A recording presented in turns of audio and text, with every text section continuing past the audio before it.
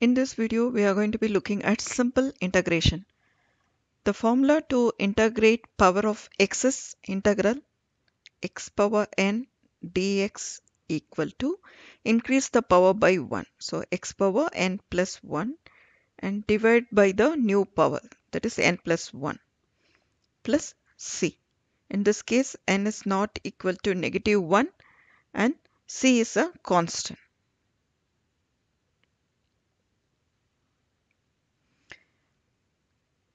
How to integrate integral x cube dx? Raise the power by 1. So already we have 3. 3 plus 1 is 4.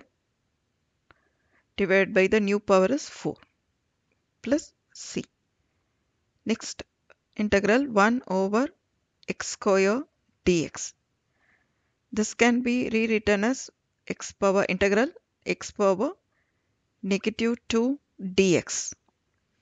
Now increase the power by 1. So negative 2 plus 1 gives x power negative 1 divided by the new power which is negative 1 plus c. This can be rewritten as negative 1 over x plus c. Next integral x square root of x dx. This can be written as x power is 1 and square root of x power is x power 1 over 2. So when the bases are same, you can add the power. So this can be written as integral x power 3 over 2 dx. Now how to integrate this one? Increase the power by 1. So 3 over 2 plus 1 gives 5 over 2 divided by 5 over 2 plus c. This can be written as 2 over 5 multiplied by x power 5 over 2 plus c. Now, how to integrate x with the coefficient? The general form is integral ax plus b the whole power n dx. To integrate this one, first increase the power by 1. So ax plus b the whole power n plus 1 divided by the, the new power. The new power is n plus 1. Now divide it by the coefficient of x which is a here plus c. So in this case also n is not equal to negative 1 and a also should not be equal to 0. Okay and c is a constant. Now how to integrate 2x plus 1 the whole power 3 dx. Increase the power by 1.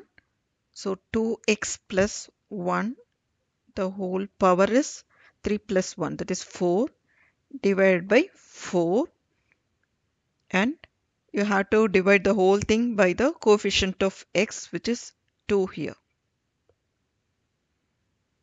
So this can be written as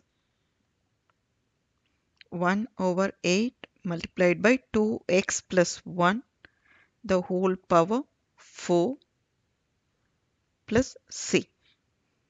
Next integral 1 over 3x plus 2 the whole power 1 over 2 dx.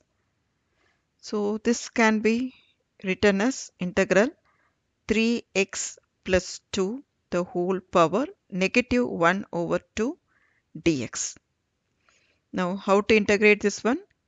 Increase the power by 1 so negative 1 over 2 plus 1 gives positive 1 over 2. So 3x plus 2 the whole power 1 over 2 divided by the power. The new power is 1 over 2. And it should be multiplied that is uh, it should be divided by the coefficient of x which is 3 plus c. So this can be rewritten as 2 over 3 multiplied by 3x plus 2 the whole power 1 over 2 plus c. Next integral x multiplied by 2x plus 3 multiplied by dx. Now how to integrate this one?